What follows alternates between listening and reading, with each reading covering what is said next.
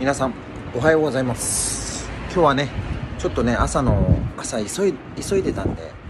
朝動画回すことできなかったんですけれども皆さん昨日もねライブにたくさんの方がね来ていただきまして、まあ、大半がねあのー、まあ、僕の言ったことをあのちゃんとご理解していただいてまあね信義が言ってることは正しい。ねえー、人材安定剤でよれてるやつの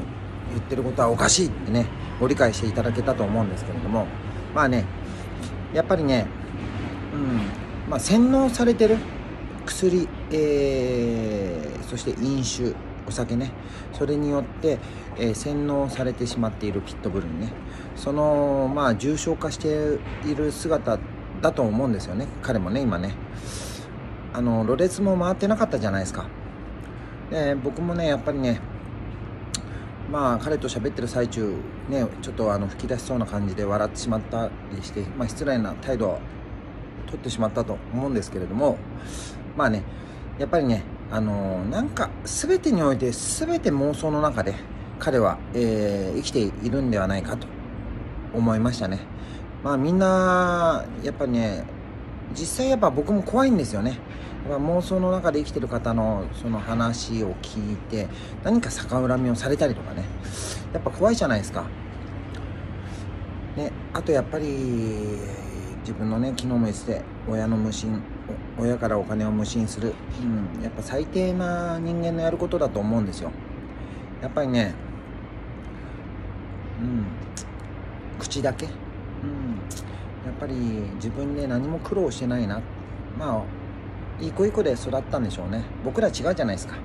やっぱりちょっとねもう険しい人生歩んできてますからね。もうそういうなんかね甘ったれちゃんの人たちを見てるとあの羨ましいとも思わないし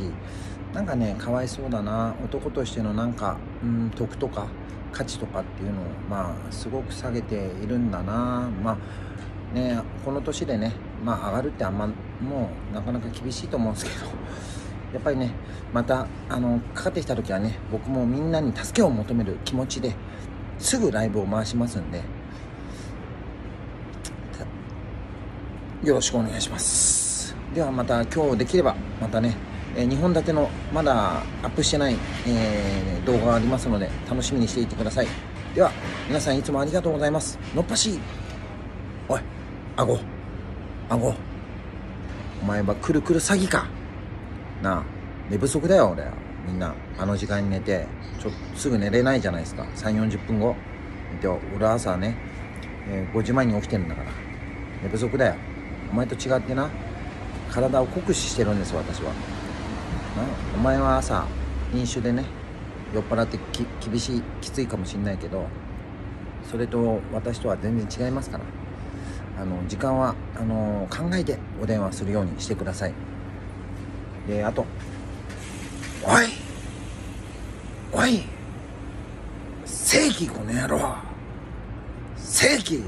の野郎浜田山か」みたいでは皆さんお疲れ様でした。